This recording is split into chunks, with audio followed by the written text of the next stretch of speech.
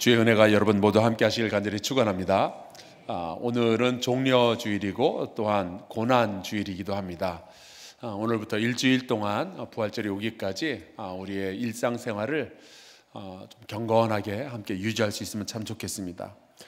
어, 어제는 어, 어제는 이제 섬기는 삶으로 부르시는 주님의 음성에 대해서 우리가 함께 말씀을 나누었죠. 주님은 하늘과 땅의 모든 권세를 가지시고 가장 먼저 하신 일이 제자들의 발을 씻기신 일이었습니다. 그리고 우리 보고 너희도 나처럼 해라라고 말씀하시죠. 어, 가진 자와 강한 자가 못 가진 자와 약한 자를 섬기는 세상.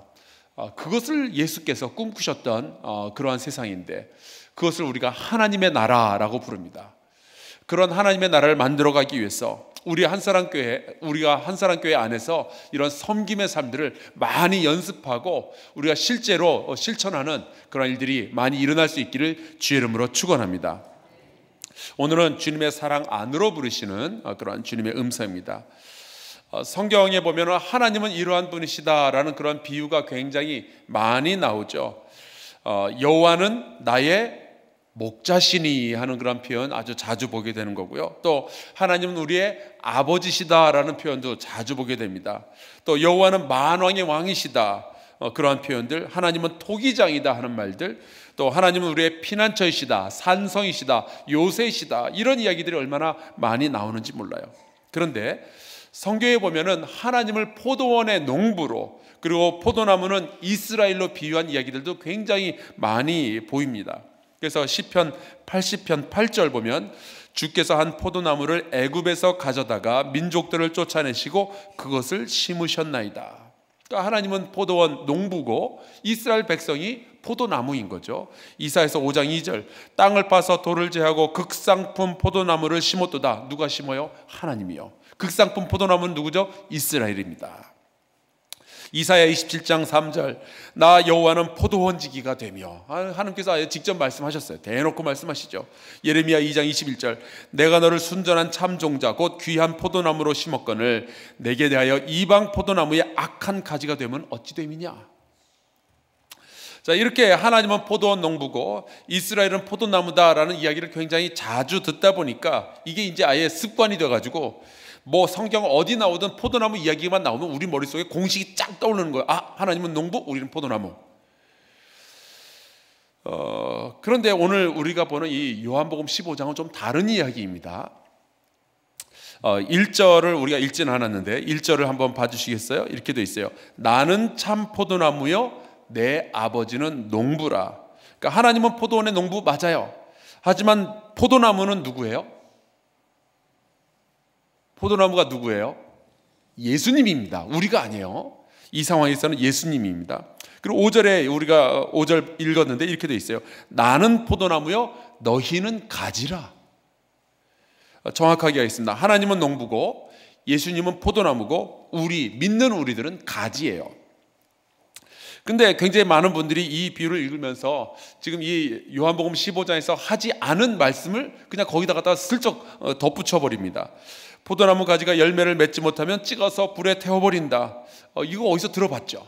근데 이게 요한복음에 나오는 이야기가 아니고 마태복음 7장 19절에 나오는 말씀입니다. 아름다운 열매를 맺지 아니하는 나무마다 찍혀 불에 던져지느니라. 그러니까 포도나무 가진 우리가 열매를 맺는 것이 사명인데 그 사명을 감당하지 못하면 찍혀서 불에 던져질 것이다. 그런 해석을 요한복음 15장에서도 우리가 하는 거예요. 근데 마태복음 7장에서는 그게 맞아요. 근데 요한복음 15장은 다른데 다른데 포커스가 있습니다. 오늘 이 말씀을 좀 정확하게 봤으면 좋겠어요. 오늘의 말씀은요. 그 목적이 열매를 많이 맺어라가 아니에요. 오늘 이 말씀의 구절에 보면은 나의 사랑 안에 거하라가 목적입니다. 아, 다시 보죠. 하나님이 포도원 농부이고 우리가 가지이고 어, 그리고 예수님이 포도나무라면은 그 포도나무에 열매가 많이 맺히는 것은 누구의 책임이 제일 클까요? 여러분이 포도원, 어, 과수원, 농부라고 생각해 보세요. 사과나무가 있어요. 그 사과나무에서 열매가 많이 맺히고 안 맺히고는 누구 책임이에요? 농부 책임이죠. 괜히 열매가 안 맺혔다고 그럴 필요가 없죠. 걸음 많이 주고 열심히 가꿨으면 가지치기 잘 해주고 그러면 열매가 맺혀지게 되는 겁니다. 그래서 그 농부 되신 하나님은요, 쉼 없이 우리를 위해서 일하고 계셔요. 가지치기를 하시는 거죠. 성경에 나와 있어요. 그러면은 포도나무에 건강하게 붙어 있던 가지는 자연스럽게 열매를 맺는 겁니다.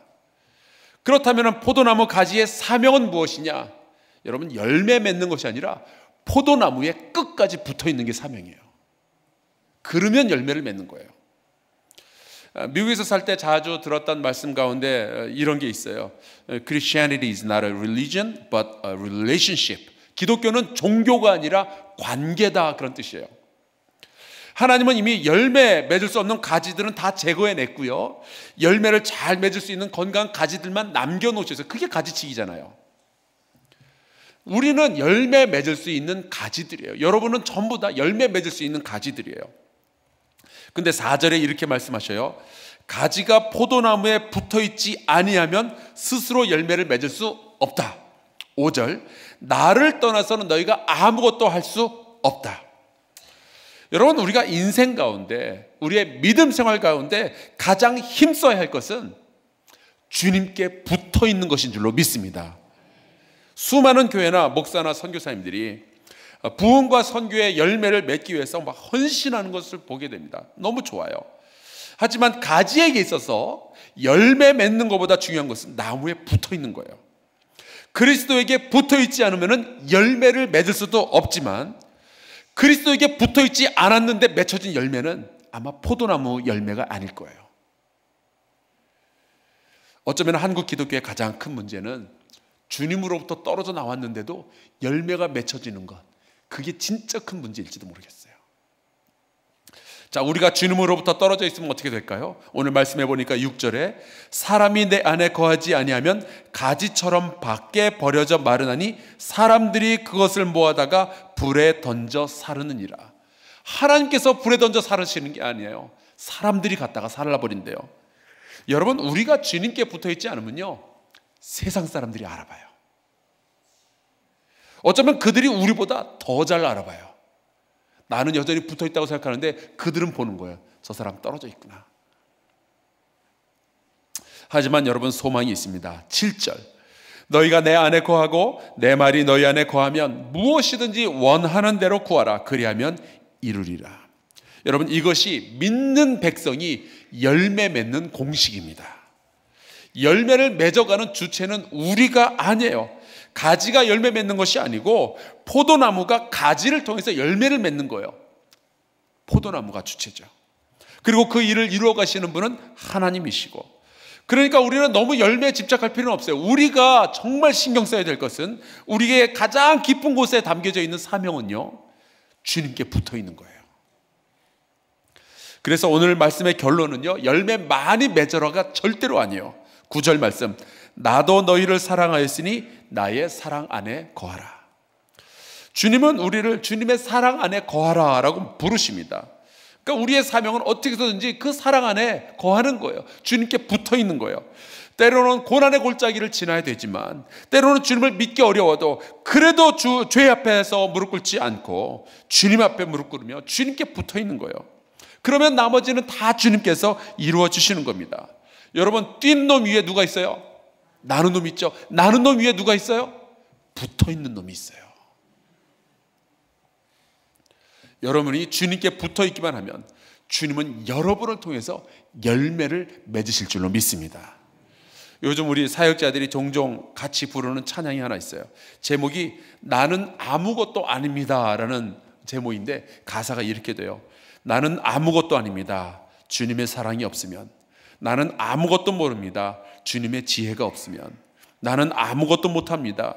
주님의 능력이 없으면 나는 한순간도 못 삽니다. 주님의 생명이 없으면 이제 내가 사는 것이 아니요 그리스도 내 안에 사시니 오직 그의 생명이 나의 생명 나의 모든 날들도 주의 것 나는 오직 한 분 바랍니다. 나의 아버지 나의 구원 나의 주 우리 주님은 다 하셔요.